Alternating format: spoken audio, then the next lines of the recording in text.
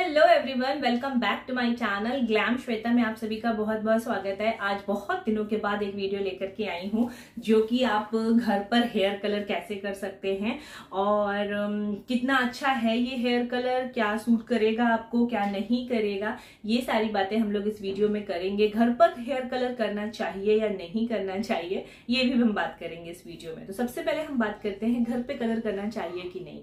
देखिए अगर आपके पास घर पर टाइम है और आप अप्लाई कर सकते हैं तो हमें घर पे ज़रूर अप्लाई करना चाहिए क्योंकि देखो बाहर जाने के लिए हमें टाइम चाहिए होता है अपॉइंटमेंट लेना पड़ता है फिर बहुत ज़्यादा एक्सपेंसिव भी होता है हेयर कलर कराना बाहर मार्केट में।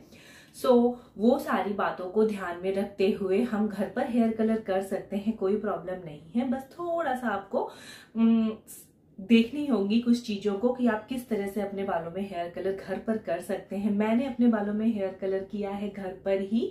सो so, अपना एक्सपीरियंस आपके साथ शेयर करने जा रही हूँ। तो अगर अच्छा लगेगा ये वीडियो तो लाइक कर दीजिएगा और ग्लैम श्वेता पे पहली बार आए हैं तो सब्सक्राइब ज़रूर करिएगा। यहाँ पे आपको ऐसे और अच्छे अच्छे वीडियोज़ देखने को मिलेंगे। तो चलिए स्टार्ट करते हैं अपने वीडियो को। ओके okay गाइस तो मैंने यहाँ पे बी ब्लंड का सलून सीक्रेट हेयर कलर लिया है एंड यहाँ पे एक बाउल ले लिया है हेयर ब्रश ले लिया है। जब हम इस बॉक्स को ओपन करते हैं तो इसमें डेवलपर मिलता है कलरंट मिलता है एंड एक शाइनर टो, टॉनिक मिलता है जिससे कि आपके बालों में सचमुच बहुत अच्छी एक शाइन आ जाती है। तो हमको ये बाउल लेना है। बाउल में हमें इन तीनों को अच्छे से मिक्स कर लेना है। तो मैंने यहाँ पे डेवलपर लिया है एंड हाफ़ मैं ट्यूब डाल दूँगी क्योंकि मैं अपने पूरे बालों में करने जा रही हूँ। अगर आपके बालों की लेंथ ज़्यादा बड़ी है, घने हैं आपके बाल तो आप पूरा ट्यूब भी एक बार में यूज़ कर सकते हैं। मैं ग्लोबल करूँगी अपने पूरे बालों में। हेयर कलर अप्लाई करूँगी। तो जो भी आपको अगर ग्रे हेयर की प्रॉब्लम है तो इससे ये पूरी तरह से सॉल्व हो जाएगी एंड काफ़ी अच्छा कलर भी आपके बालों में ऐड हो जाएगा।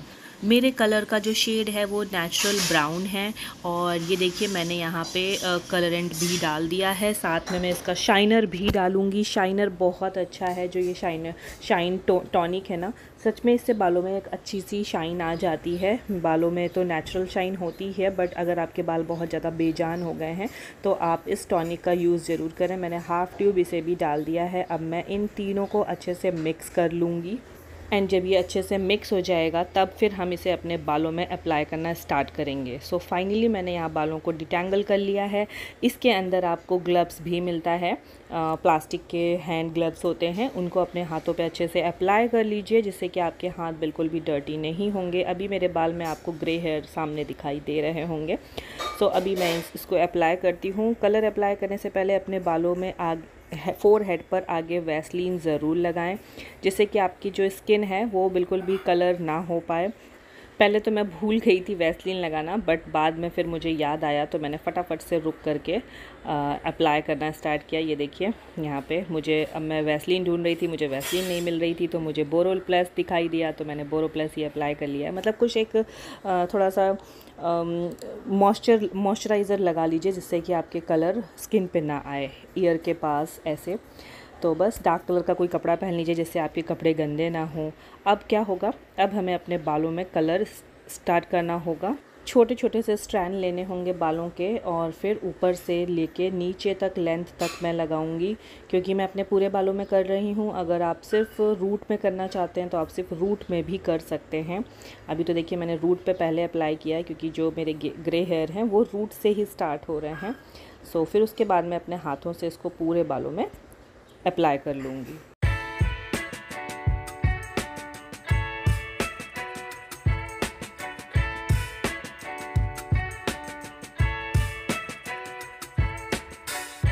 अच्छा यहाँ पे मैं खुद से अपने बालों में अप्लाई कर रही हूँ। अगर आपके पास कोई हेल्प करने वाला है तो आप उससे ज़रूर अपने बालों में आम, कलर लगवाइएगा। वो अच्छे से लगा देंगे आपके बालों में जो भी आम, ग्रे हेयर हैं या जहाँ पे भी आप चाहते हैं वो अच्छे से। अगला कोई लगाता है तो ज़्यादा अच्छे से अप्लाई हो जाता है। बट अपने आप भी लग जाता है ऐसी कोई ज़्यादा मेन प्रॉब्लम नहीं आती है। सो मैंने अभी अपना दूसरा साइड भी स्टार्ट किया है।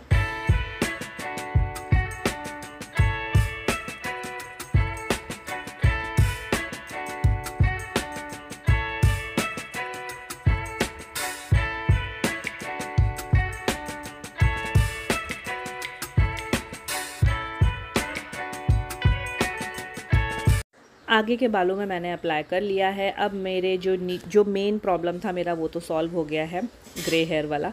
अब मैं इसको हल्के से कॉम कर लूँगी, जो पूरे बालों में अच्छे से जो कलर है, वो अप्लाई हो जाएगा। फिर जितने भी कलर बचा हुआ है, मैं अपने पूरे नीचे के बालों में लगा लूँगी और फिर बन बना लूँगी। एक पूरा, पूरे बालों को रैप करके, एक बन बना करके मैं इसमें क्लचर लगा लूँगी और 30 टू 35 मिनट्स हम इसे छोड़ देंगे।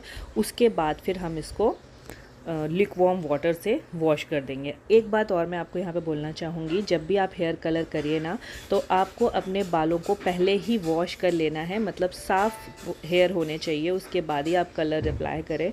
मैंने यहाँ पे एक गलती कर दी थी कि मैंने बालों को वॉश नहीं किया था। दो दिन पहले वॉश किया था, उन्हीं बालों पर मैंने कलर अप्लाई कर लिया था। आप ऐसी गलती ना करें, उसका अच्छा ज़्यादा रिज़ल्ट मिलेगा अगर आपके बाल साफ़ हैं और नहीं तो फिर आप जब कलर को वॉश करते हैं ना पानी से तो क्या होता है कि शैम्पू करना ज़रूरी हो जाता है वरना बहुत ही बाल स्टिकी से हो जाते हैं।